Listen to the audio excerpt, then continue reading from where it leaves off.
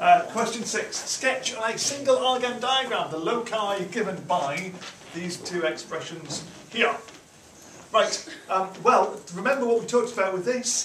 First thing to do, before you do anything else, before you even think anything else, is to rewrite that to get it in the form that we want it to be. So that is z minus root 3 plus i. That is so important that we do that so that we get our point established straight away without any messing around. Great, so that's a good start. Um,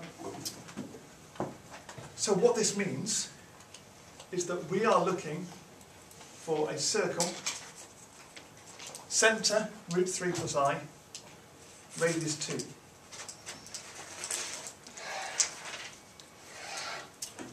Um, so let me draw a circle and see if we can put it in the right place. Hang on, how do I draw the circle? I can't remember. Oh, why has it done that? Oh no. It's a beautiful circle, but um, oh, I've just cloned it. One minute.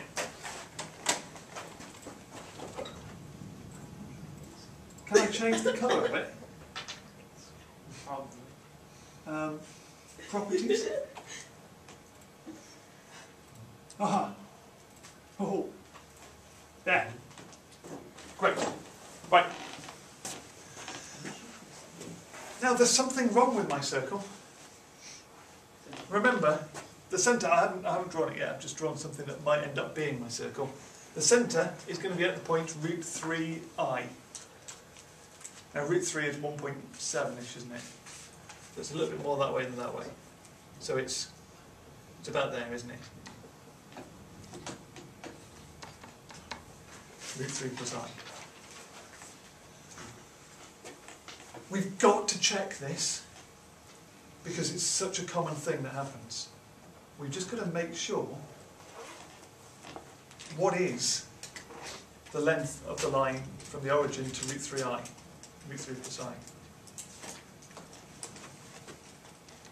That means that distance is 1, and that distance is root 3. Now a quick Pythagoras theorem check on that tells you that root 3 squared plus 1 squared is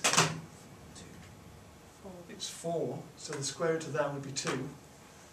So that distance there is 2, which also happens to be the radius of our circle. So our circle has to have that centre and go through the origin. And there will be a mark for it going through the origin. Now, the reason I say we have to check this, it is so common that when you're asked to draw a circle, the circle goes through the origin, that actually it ought to be just inbuilt. It ought to be something that you always check to make sure whether the circle goes through the origin, to make sure that you draw it in the right place. That's how they're going to know they've drawn it in the right radius, but they will be looking for it going through the origin. Really, really important. I wish I'd drawn my diagram a little bit bigger. Um, the other thing is the argument of z has got to be pi by 6. By hand, let's check this out. Let's make sure there's not any link here. Um, pi by 6 is 30 degrees, isn't it? And the sine of 30 is one of those ones that pops into your head instantly. Or maybe it doesn't. Sine of 30 is... That was a guess, wasn't it? It's a half. That's the other one. So cos of 30 is root 3 over 2, and sine of 30 is a half.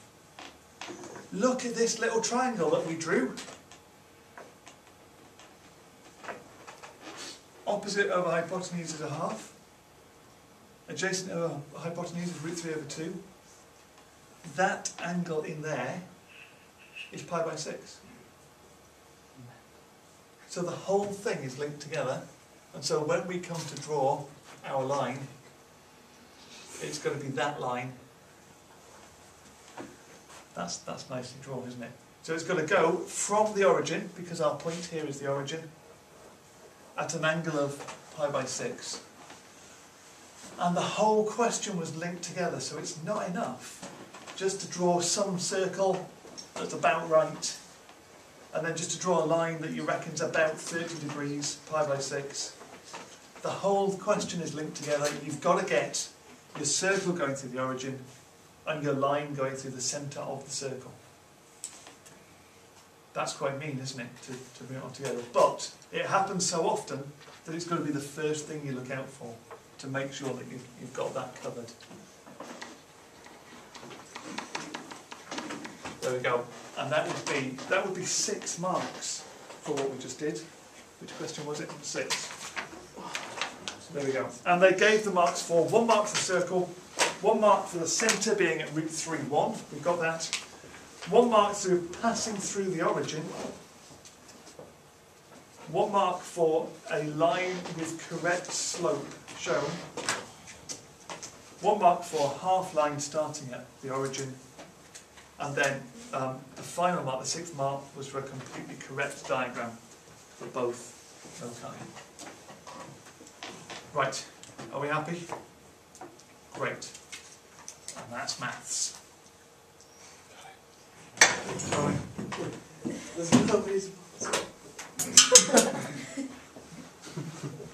Didn't mean to do that.